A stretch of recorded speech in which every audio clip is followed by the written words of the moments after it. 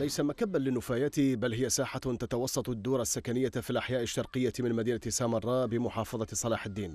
سكان تلك الأحياء اشتكوا من الواقع الخدمي المتردي الذي تعيشه مناطقهم وتكدس النفايات بشكل كبير بين المنازل والمحال التجارية فيها. المثنى مثل ما تشوف أزبال متراكمة وهاي مدينة والمدينة كلها سوق عام سوق ملابس ومخضر ومواد منزلية وملابس رجالي ونسائي.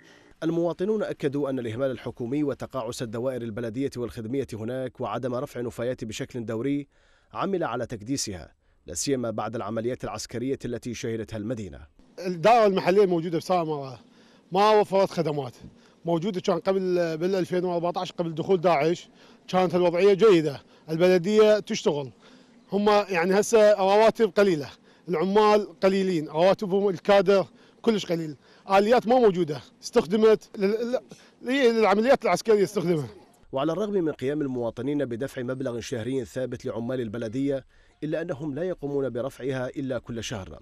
الأمر الذي عمل على تكدسها بشكل كبير. تراكم النفايات بلديه ماكو. يجون كل راس شهر أو قبل بداية الشهر على 5000 دينار 5000 دينار. أكو ناس تدفع أكو ناس ما تدفع.